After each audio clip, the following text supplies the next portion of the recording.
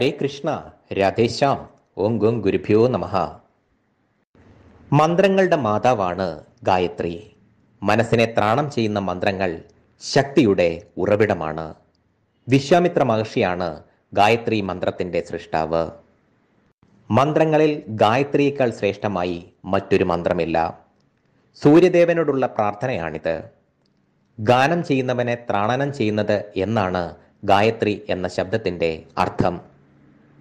ഗായത്രി മന്ത്രം ഉരുവിടുമ്പോൾ തേജസ് യശസ് വജസ് എന്നീ ശക്തികൾ നാം അറിയാതെ തന്നെ നമ്മളിൽ നിറയുന്നു. അർത്ഥം മനസ്സിലാക്കി ഗായത്രി ചൊല്ലുന്നത് ഇരട്ടി ഫലം ലഭിക്കും.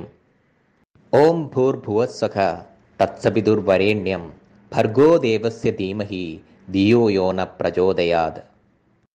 ലോകം മുഴുവൻ പ്രകാശം പരത്തുന്ന സൂര്യഭഗവാൻ അതുപോലെ നമ്മുടെ ബുദ്ധിയെയും പ്രകാശിപ്പിക്കട്ടെ എന്നതാണ് ഇതിന്റെ അർത്ഥം.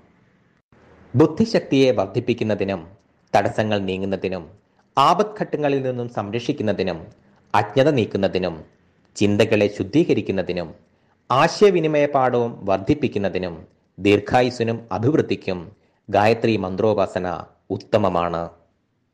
ഗായത്രി മന്ത്രത്തിലെ ഓരോ വാക്കും ശരീരത്തിന് കൂടുതൽ ഊർജം നൽകുന്ന വിധത്തിലാണ് ചിട്ടപ്പെടുത്തിയിരിക്കുന്നത്. ഈ മഹാമന്ത്രത്തിലെ ഇരുപത്തിനാല് അക്ഷരങ്ങൾ മനുഷ്യ ശരീരത്തിലെ ഇരുപത്തിനാല് ഗ്രന്ഥികളെയും തമ്മിൽ ബന്ധിപ്പിക്കുന്നു. ഗായത്രി മന്ത്രം നിത്യവും ജപിക്കുന്നത് മോക്ഷദായകമാണ്. ഗ്രഹദോഷങ്ങൾ ബാധിക്കാതിരിക്കാൻ ഈ ജപം ഉത്തമമാണ്. വിശ്വാമിത്ര മഹർഷിയുടെ കാലശേഷം ഓരോ ദേവതയ്ക്കുമുള്ള ഗായത്രി മന്ത്രങ്ങൾ മറ്റു മഹർഷിമാരാൽ എഴുതപ്പെട്ടു. അവയിൽ ഉത്തമ ഫലം നൽകുന്ന ഗായത്രി മന്ത്രങ്ങൾ അവരവരുടെ ഇഷ്ടദൈവത്തെ ധ്യാനിച്ച് ജപിച്ചാൽ ഫലം സുനിശ്ചിതമാണ് ഓരോ ഗായത്രിയും കുറഞ്ഞത് ഒൻപത് തവണയെങ്കിലും ജപിക്കുന്നത് ഉത്തമമാണ്.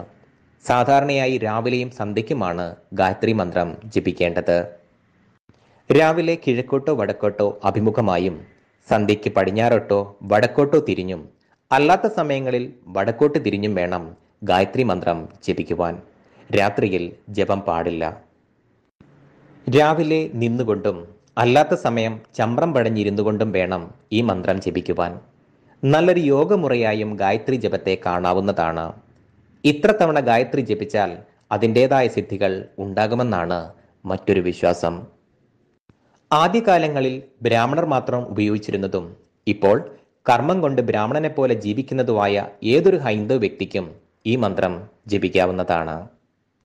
ഹൈന്ദവ മന്ത്രങ്ങളിൽ സർവശ്രേഷ്ഠമായി പരിഗണിക്കുന്ന ഒരു ദൈവിക മന്ത്രമാണ് ഗായത്രി മന്ത്രം.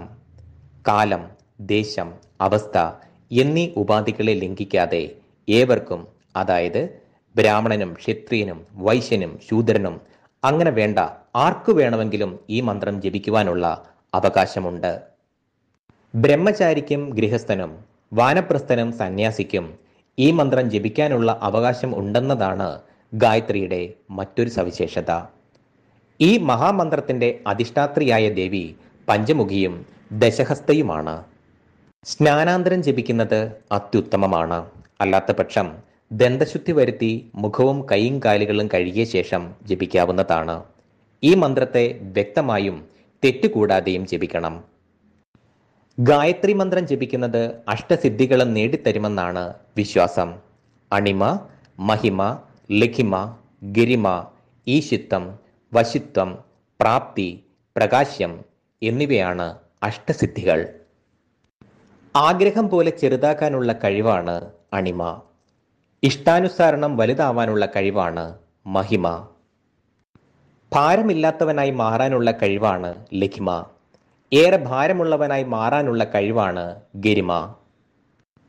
ആരെയും തന്റെ ഇഷ്ടത്തിനനുസരിച്ച് കൊണ്ടുവരാനുള്ള പ്രത്യേക കഴിവാണ് ഈശിത്വം എല്ലാവരെയും വശീകരിക്കാനുള്ള കഴിവാണ് വശിത്വം. പ്രാപ്തി എന്നാൽ മറ്റുള്ളവർക്ക് സ്പർശിക്കാൻ കഴിയാത്ത വസ്തുക്കളെ സ്പർശിക്കാനുള്ള കഴിവാണ്. ഭൂമിയുടെ ഉള്ളിലേക്ക് അന്തർധാനം ചെയ്യാനും അവിടെ നിന്ന് താൻ ആഗ്രഹിക്കുമ്പോൾ പുറത്തേക്ക് വരാനുള്ള കഴിവിനെയാണ് പ്രകാശ്യം എന്ന് പറയുന്നത്.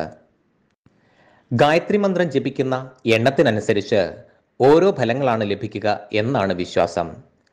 നിഷ്കാമ്യ ജപം എല്ലാ സിദ്ധികളും മോക്ഷവും നൽകുന്നു. ആയിരത്തിയെട്ട് ചുവന്ന മലറുകളാൽ ഗായത്രി ഹോമം ചെയ്താൽ രാജകീയ പദവി തേടിയെത്തും. ആയിരത്തെട്ട് തവണ ഒഴുക്കുള്ള നദിയിൽ നിന്ന് ജപിച്ചാൽ സർവ പാപങ്ങളും അകലുന്നതാണ്. ദിനം തോറും ആയിരത്തി എട്ട് വീതം ഒരു വർഷം ജപിച്ചാൽ ത്രികാല ജ്ഞാനം സിദ്ധിക്കും. രണ്ട് വർഷം ജപിച്ചാൽ അഷ്ടസിദ്ധികളും ലഭിക്കും. മൂന്ന് വർഷം ജപിച്ചാൽ പരകായ പ്രവേശം ചെയ്യാനുള്ള സിദ്ധി താനേ ഉണ്ടാകും. നാലു വർഷം ജപിച്ചാൽ ദേവജന്മം ലഭിക്കും. അഞ്ചു വർഷം ജപിച്ചാൽ ഇന്ദ്രനാവാം. ആറു വർഷം ജപിച്ചാൽ ബ്രഹ്മലോകവാസം സാധ്യമാകും. ഏഴ് വർഷം ജപിച്ചാൽ സൂര്യമണ്ഡലത്തിൽ ഗായത്രി ദേവിക്ക് സമീപസ്ഥനായി കഴിയാൻ സാധിക്കും. ഹരിഹരി ബോൽ രാധേ രാധേ ശ്യാം.